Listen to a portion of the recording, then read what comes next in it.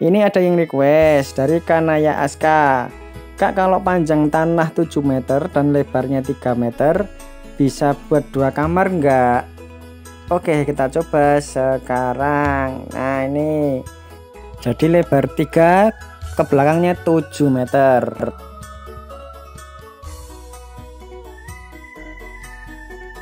Berawal dari kita buat dindingnya dulu dindingnya kita atur sedemikian rupa. Lalu kita buat atapnya. Nah di sini langsung tak buat fasadnya. Nah ini ini fasadnya ini. Fasad depannya akan seperti apa? Ya maaf kadang ya loading loading itu laptopnya itu ya agak kentang sih. Nggak cuman agak tapi memang kentang. Tapi ya berusaha kita maksimalkan laptopnya. Nih udah mulai kelihatan model fasadnya tak buat Skandinavian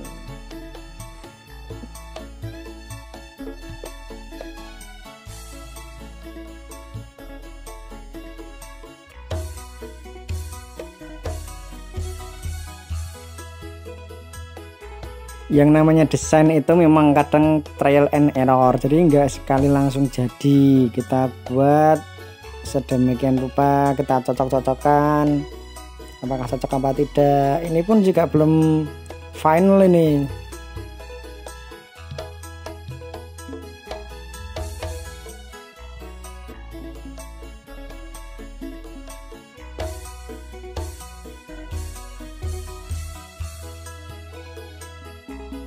ya beginilah yang namanya mendesain rumah.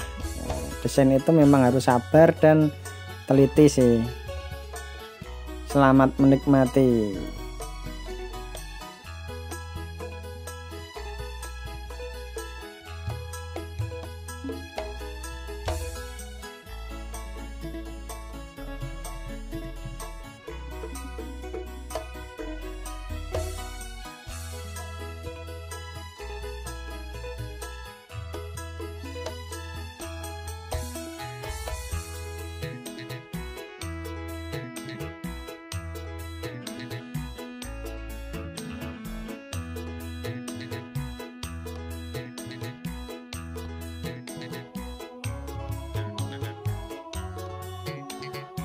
ini desainnya ini videonya tak cepetin 10 kali.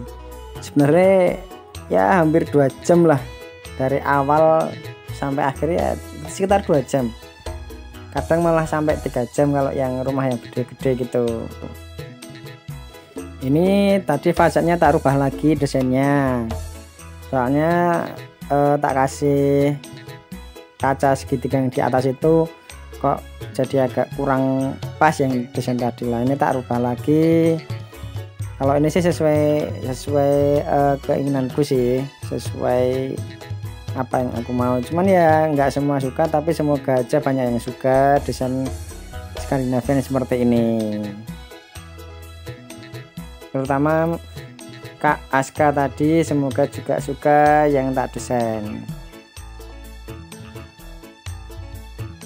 tahap berikutnya kita kasih pintu dan jendela. Nah ini ini juga trial and error juga. Lah ini bolongan yang tadi buat jendela ternyata kurang pas.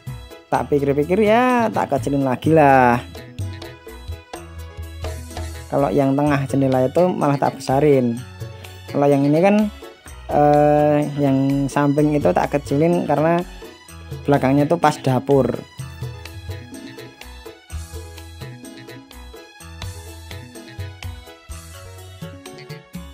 saatnya kita buat dinding dalamnya. Yang eh, terpisah dengan dinding luar. Maksudnya tuh enggak enggak satu grup lah. Tuh.